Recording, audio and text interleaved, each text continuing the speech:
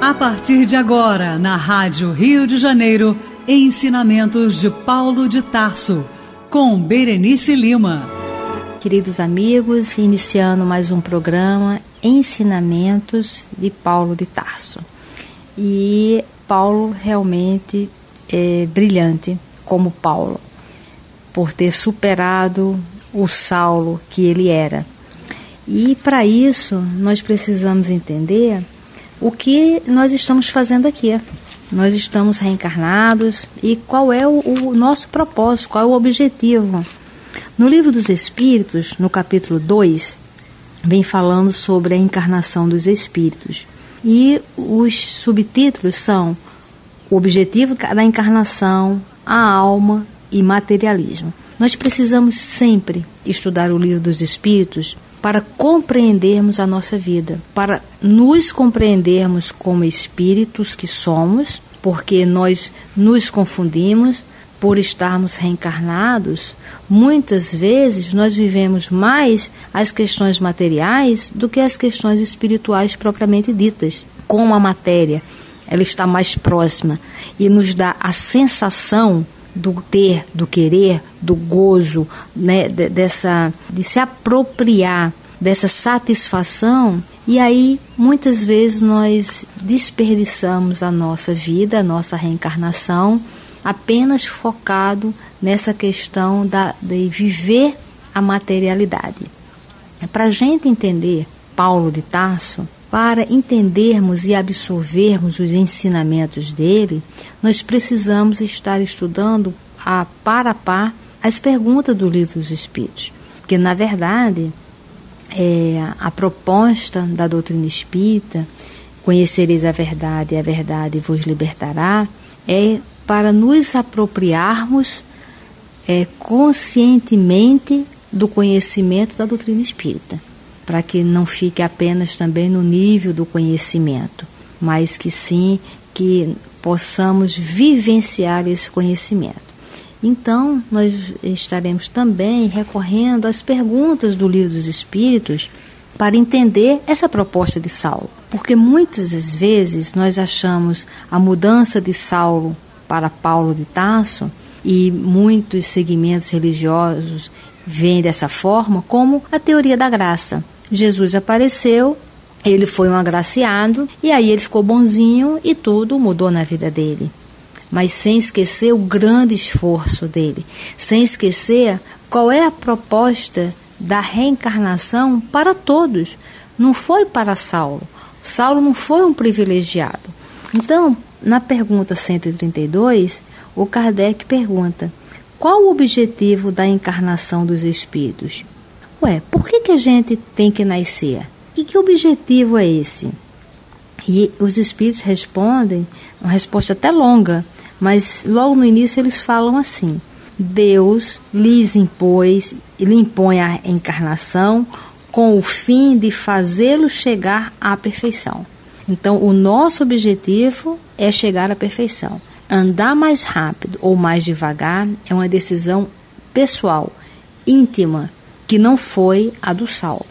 Saulo, quando se percebeu, quando é, se conheceu, que nós já estudamos essas perguntas no programa passado, ele realmente fez valer. Continuando respondendo a essa pergunta 132, os espíritos dizem, né? Para uns, né, para alguns encarnados, é expiação, para outros, missão. Mas, para alcançar essa perfeição, tem que sofrer todas as vicissitudes da existência corporal. Nisto é que consiste a expiação. A encarnação tem ainda outra finalidade, a de pôr o espírito em condições de cumprir sua parte na obra da criação. Para executá-la é que, em cada mundo, ele toma um instrumento em harmonia com a matéria essencial desse mundo a fim de nele cumprir, daquele ponto de vista, as ordens de Deus. É dessa forma que, concorrendo para a obra geral, ele próprio se adianta. E aí nós enxergamos dessa forma que é uma questão de nós decidirmos. Tem uma outra pergunta aqui no Livro dos Espíritos que eu, eu quando eu cheguei na doutrina, eu fiquei assim muito impressionada com essas perguntas, porque são tão objetivas e eu fiquei assim impressionada e assustada por é, eu estar vivendo até aquele momento, eu tinha uns 40 anos mais ou menos, 40 e poucos anos, e nunca tinha percebido assim do objetivo real da vida. Eu me lembro que eu ficava às vezes me questionando, é, puxa vida, por que, que eu nasci mesmo? Será que foi para fazer isso ou aquilo? Então, vinha alguns questionamentos na minha vida e quando eu cheguei na doutrina, ficaram tão claro. Olha essa pergunta que o Kardec fala. A, a pergunta 117. Olha só. Depende dos espíritos apressarem o seu progresso rumo à perfeição? Veja que isso aqui parece muito com a questão que nós estudamos no programa passado, que é a questão 909, quando Kardec pergunta se a pessoa pode, por esforço próprio, vencer suas más tendências e evoluir nesta reencarnação. Lembra? E os espíritos dizem que sim, que o que falta é vontade. E nessa ele diz: depende dos espíritos apressarem o seu progresso rumo à perfeição. Então cada um de nós tem que pensar: eu estou apressando o meu progresso? Eu estou estagnado? Que ele também faz uma pergunta sobre essa estagnação. É, qual a velocidade que eu estou dando, objetivando o meu progresso espiritual, me enxergando como espírito evoluído, me sentindo um espírito em evolução, desejando ser um mentor, desejando ser um espírito de luz, um espírito superior. Cada um de nós tem que refletir. Você tem essa vontade? Isto passa por você? Porque é, quando ele diz depende só dos espíritos, né? Essa, se apressarem rumo à perfeição. E sabe qual é a resposta? A resposta é certamente. Eles a alcançam mais ou menos rápido, conforme seu desejo e submissão à vontade de Deus. Uma criança dócil não se instrui mais depressa do que uma criança rebelde? E ele dá esse exemplo, e nós podemos pensar, refletir se na nossa, na nossa trajetória, se nós estamos sendo uma criança dócil ou uma criança rebelde. Quando as provas nos chegam, nós é, objetivamos né, vencê-las, concluí-las com tranquilidade ou com calmaria ou com rebeldia porque senão nós vamos ficar sempre é, sem saber o rumo que tomar. Vamos ficar sempre achando, como muitos acham, da teoria da graça, que o Paulo foi agraciado pela visão de Jesus. Que ele foi um escolhido de Deus, foi um escolhido de Jesus para se tornar Paulo de Tarso, como se fosse um presente para ele, quando na verdade ele entrou no processo de autoconhecimento e na identificação de si próprio fez um programa de vencer as más tendências, ele, por si só, apressou o seu programa rumo à perfeição baseado na sua vontade, desejando ser diferente, desejando um algo mais. E é nesta proposta que nós temos que trazer Paulo de Tarso para os nossos dias. Chega de Saulo de Tarso, porque nós vamos estudar a personalidade de Saulo, o comportamento de Saulo, a reflexão e a mudança para Paulo. Então, chega de Saulo na nossa vida. Vamos deixar de ser Saulo. Vamos buscar Paulo. Vamos buscar esse Paulo que já existe dentro de nós, porque as leis de Deus estão na nossa consciência.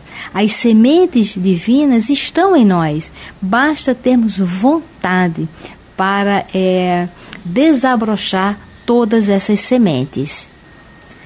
Para enriquecer o nosso estudo dessa pergunta do Livro dos Espíritos, a 117, é, no Evangelho segundo o Espiritismo, no capítulo 4, que tem o título Ninguém pode ver o reino de Deus se não nascer de novo.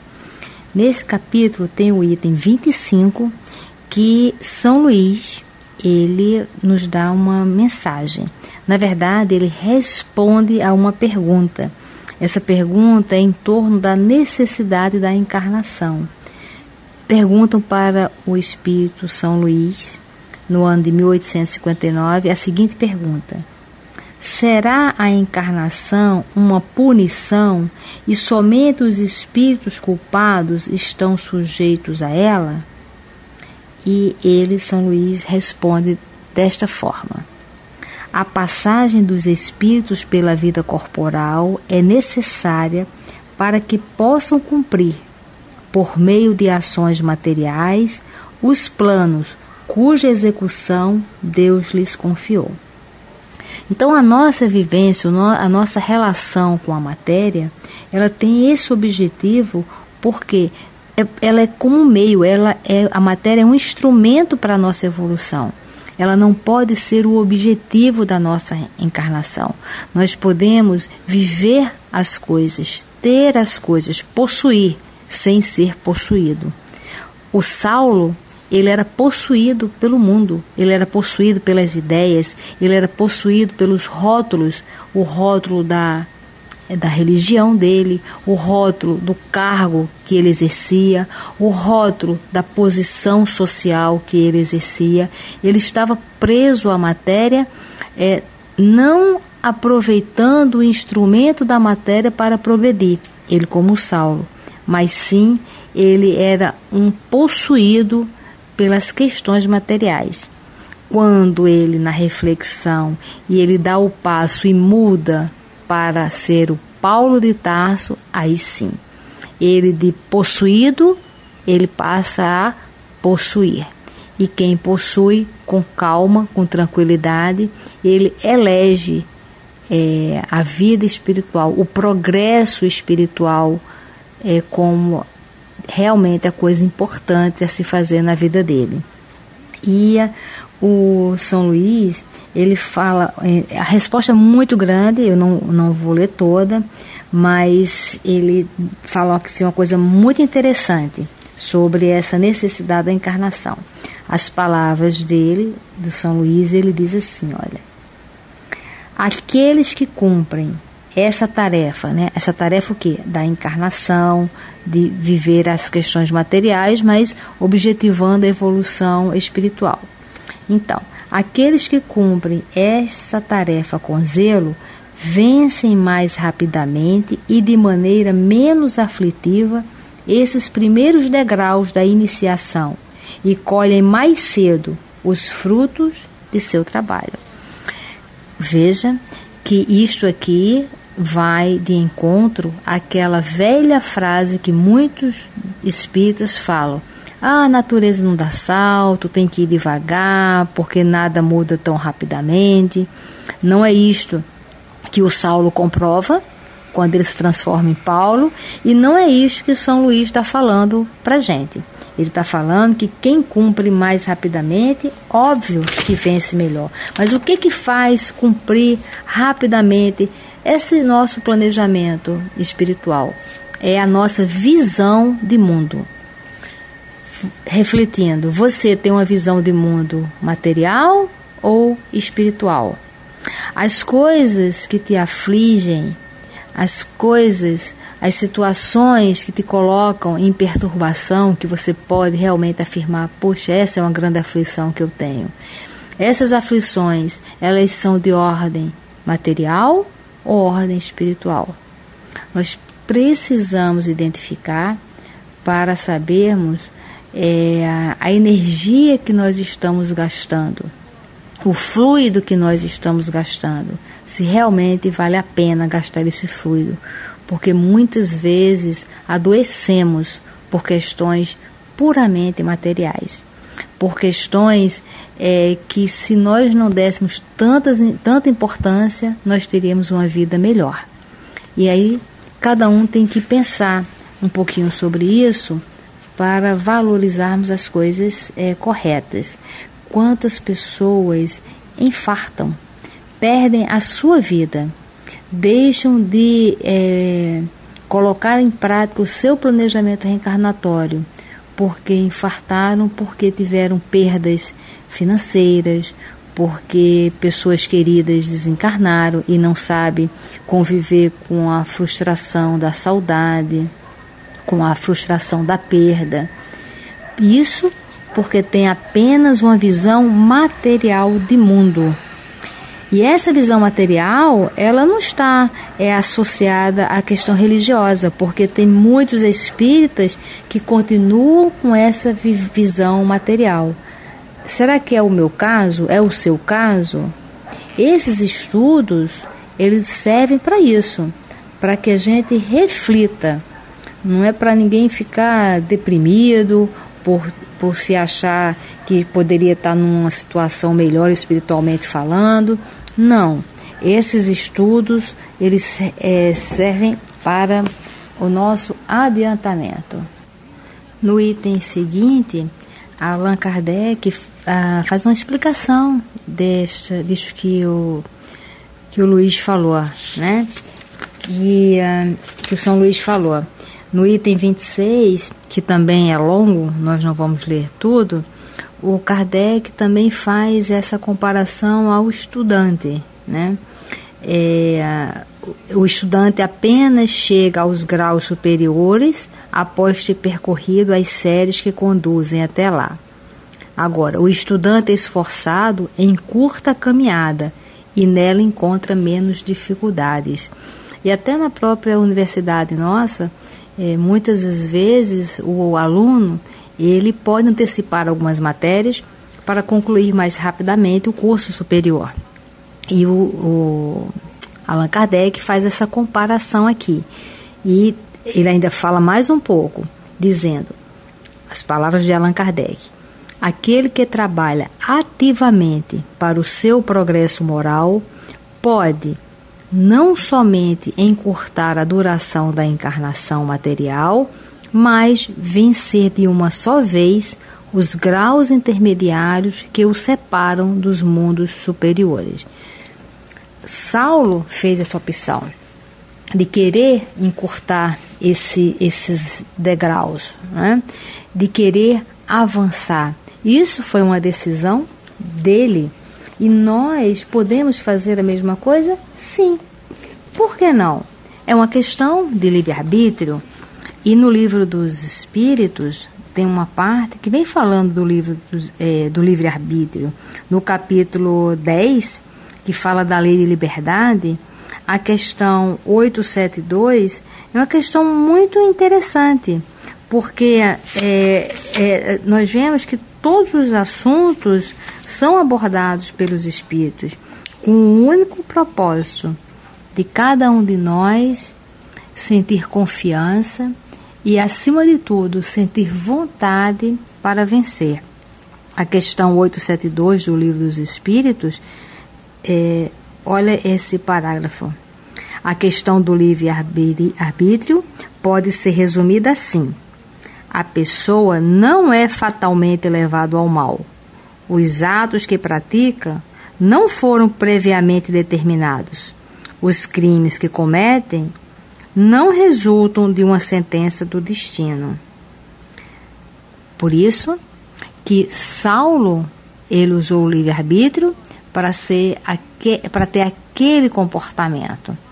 E ao mesmo tempo que ele se conhece, se percebe e decide mudar, ele usa o mesmo livre-arbítrio, a mesma lei, a mesma vontade para ser diferente. Porque ninguém nasce pra, para apedrejar alguém, ninguém nasce para matar alguém, ninguém nasce para causar um mal à sociedade. Quando isso acontece, é pelo mau uso do livre-arbítrio, da mesma forma que Saulo, até usando bons argumentos, porque ele usava o argumento da religião, da fé, do conhecimento, que dentro da lei da época, que era legalizado, que poderia ser apedrejado, nos mostrando que nem tudo que é legal é moral. Mas ele, usando o livre-arbítrio dele, é, se escondendo até por trás das leis, da, de leis severas, leis cruéis, ele agia com uma personalidade. Na hora que ele mudou o que ele quis mudar pela vontade, ele usou o livre-arbítrio para uma outra forma. Ele teve uma educação diferente, né? E aqui na questão 872, que ainda aborda o livre-arbítrio, olha que interessante esse outro parágrafo, dizendo assim: cabe à educação combater essas más tendências, e ela o fará de maneira eficiente quando se basear no estudo aprofundado da natureza moral do homem. Pelo conhecimento das leis que regem essa natureza moral, chegar-se-á a modificá-la, como se modifica a inteligência pela instrução e o temperamento pela higiene. E fica esse, esse grande compromisso com a educação para que essa nossa educação seja voltada para uma educação moral, para nós nos educarmos moralmente, para nós darmos exemplos de educação, para nós como evangelizadores que somos, porque todos nós somos evangelizadores, porque se somos cristãos, se estamos dando exemplo, alguém está percebendo esse exemplo. Então, a evangelização infantil, ela não só se dá dentro da casa espírita, num determinado horário, dentro de uma sala de aula. Não, todos nós estamos evangelizando a todo instante, como o Saulo quando se transforma em Paulo, ele passa a ser um evangelizador através das suas atitudes, das suas ideias, mas acima de tudo, pelo seu comportamento moral. E tem uma outra questão, a 118, que o Kardec pergunta: mas os espíritos podem degenerar? Ou seja, ele pode é, falir? Ele pode andar para trás? ele pode regredir? E aí a resposta é não. À medida que avançam, compreende o que os distanciava da perfeição.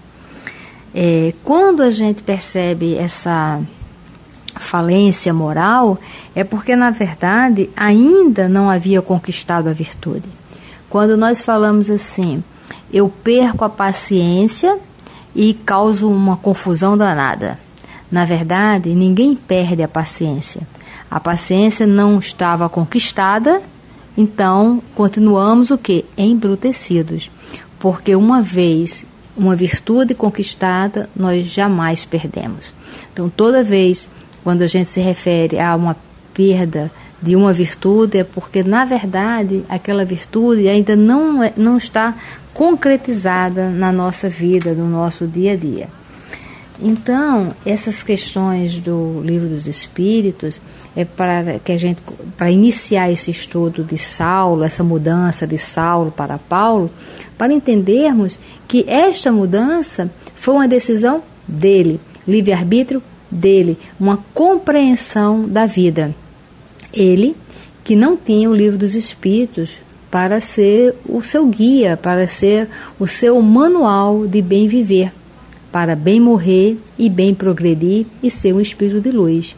Hoje nós temos, nós temos o livro dos espíritos, nós temos o evangelho segundo o espiritismo e temos esse exemplo vivo de Paulo.